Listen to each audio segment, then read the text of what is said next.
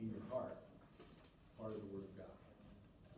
And when you do this with a group of total unbelievers, they walk away with the Word of God in their heart. The Word of God. The Word of God is where the power is. Like Lisa mentioned the other day, get the Word in there. This discussion is all about the Word of God. And there weren't these and thous in it. I told the story accurately but conversationally. That's the key to this kind of thing. You can do this in five minutes over a cup of coffee at Starbucks with someone, once you learn how to do it. From the literate style, we have a list, maybe a PowerPoint, or you write it out, or you have an outline, to this oral style, you focus on pictures, talk about it, and discuss it. It's a huge change. Now, the conversational style is what we do all the time when we get together. Somehow, we've been trained, and there's nothing wrong with literate style, but we've been trained that when you talk about the Bible, it has to be this way. It doesn't. You can actually talk about the stories of the Bible like Jesus did all the time, sharing from things around him. I need four volunteers. I'm gonna ask Lisa, can you be one of my mm-hmm. volunteers? I'm looking right here, and then I need another volunteer right here. That's good, okay? Yeah, yeah. Okay, I know Lisa probably the best of all of you, so I'm asking her to volunteer for that. You don't have to do anything, you just stand. And then two more volunteers. All right. Yes, that. Okay, look at that. literacy. All right, I've got some statistics to share with you. I'm going to try and make it easy. What's what's the literacy rate in the United States? How many people? What percent can read and write? Do you think? Give me a number. Yes. Ninety-eight. Ninety-eight percent. That is the published literacy rate in the United States. Woo! With a little asterisk, and down below it says, I think it says eighty-five percent functionally literate. That? Well, in 1993 and 2000 huge studies involving tens of thousands of people were done in the United States on literacy. They found, we're we're gonna just look at the executive summary. Okay, four groups of people. The first group would be called the non-literate group. Yeah, Lisa. Lisa's gonna represent the non-literate group. These are people that basically can't read and write. However, if they see, they see uh, a fifty-seven freeway and a fifty-five freeway, they can tell the difference. Or if they see New York and they see Budapest, they might be able to tell the difference. That's about it. Some of them can sign their name, some can't. Okay, that's the non-literate. Then the next group is the functionally non-literate. Okay, and the functionally non-literate are the people that can actually read. Jesus went to the town. And if you give them a chapter in the Bible to read, and then ask them what did it mean, nothing. Okay, they're not there. Those, those two groups. Then the third group is what we would call preferred oral learners. These people read just fine, write just fine, have advanced degrees, uh, but they'd rather learn in an oral style. So these are people, if they have a new app for their cell phone, they'd rather have somebody show them how to use it than read the instructions. Okay? And then, and then we have the highly literate. These are people that would rather read the instructions. Uh, And in the United States, by the way, highly literate people, very important. That's why we have Bibles, Bible study aids, all kinds of wonderful things. Very important that we have highly literate people. They prefer to read the book. Everybody else would rather go see the movie. Okay? So in the United States, according to these two studies, the non-literate is fourteen percent of the population is not literate. They don't read and write. An additional twenty-nine percent are functionally non-literate in the United States. This is adults, sixteen and older. Okay, so math majors, fourteen plus twenty-nine is how many? Forty-three percent of the population in the United States, if you tell them, read your Bible and pray, can't do it. Hmm. Cannot do it. Okay, the next group is the preferred oral learners. In the United States, that's forty-four percent of the population. They can can learn just fine in an oral style. They can also learn by literate style, but they prefer oil, oral style. So you go, and oil, yeah, put oil in. So what's that total percent there? Eighty-seven percent learn best in an oral style. That's like what we did. That's like telling a story versus the list of stuff. Okay, and that leaves us what percent? Thirteen percent. This thirteen percent can learn anyway, doesn't matter. And they're just as happy literate or oral. Thank you very much, you can have a seat. By the way, of these four people here, who do you think represents the group of people who write the Bible college curriculums? The literate. Well, if you pay the uh, preferred oral learner enough, they'll do it. But usually it's the literate. How about uh, mission strategies? Literate. Now, if in the United States, now this is interesting, what do you think it is in Canada? What do the numbers look like in Canada? That's the country right above the United States. Hundred percent. They're identical. Canadians could not believe it. So they completely redid the test again.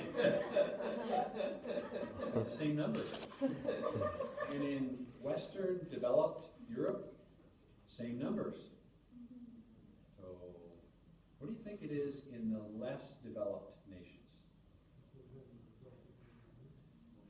More or less, right? In fact, in the, in the ten forty window, you're all familiar with the ten forty window, right? Probably, okay, yeah, easily eighty percent need oral style. There's no other way. And that's the way to communicate to them, and I can give you stories, I'll give you a story or two. We have two or three minutes, minutes left. But oral, the idea is that even in a highly literate society where we really provide great opportunities for schooling and people get to school, oral style is something we ought to consider. And what I was hoping to do today is give you a little picture of what an oral style Bible study is like. Nobody here had to read the Bible, no one had to write any notes down. And when you go from here for the next month or two, as you think on this story, God's gonna keep revealing some things to you.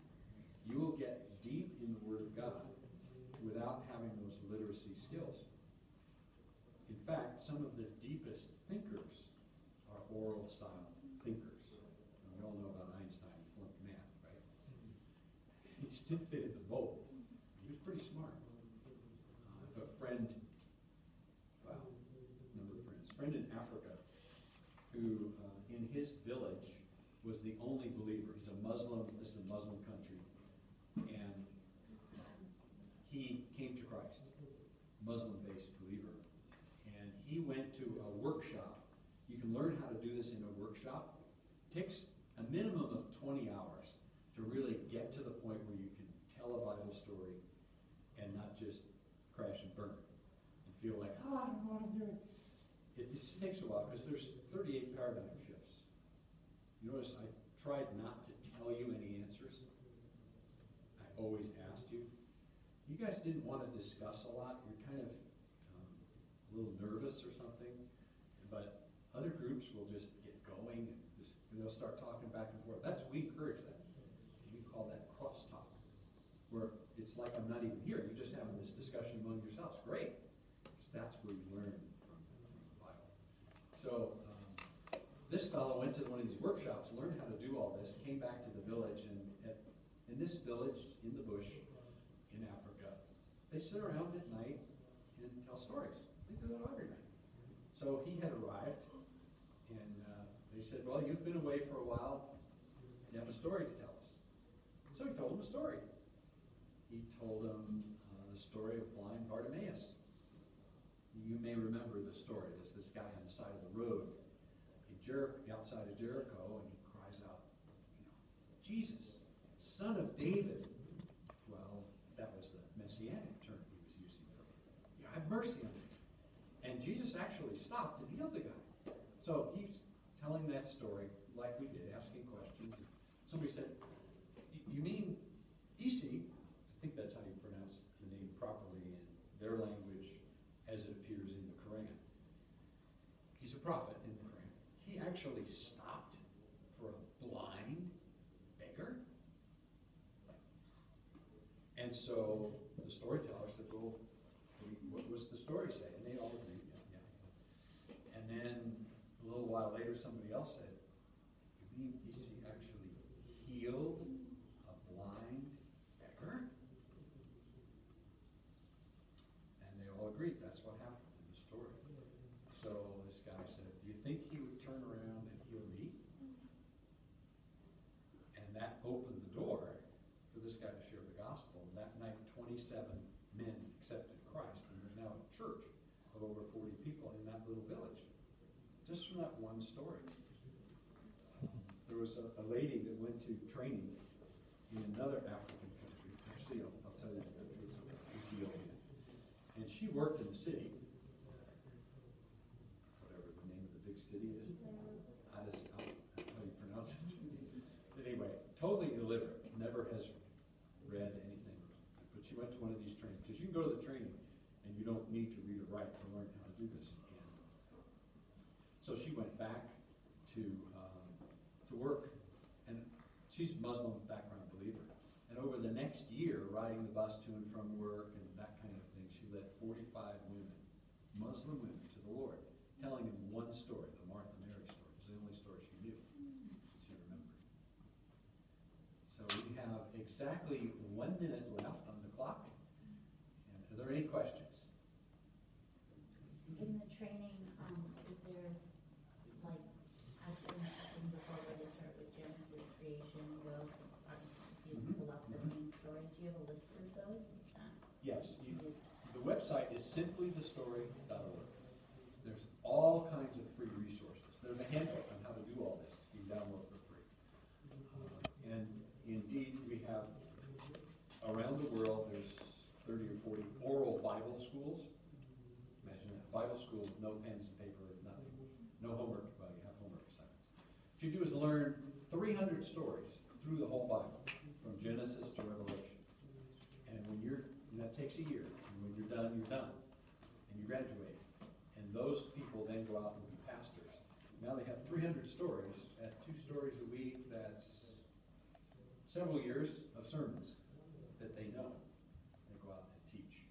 Uh, So on the website, you can find all that information, download it. Um, Yeah, encourage you to look at it, pray about it. There's also audio, you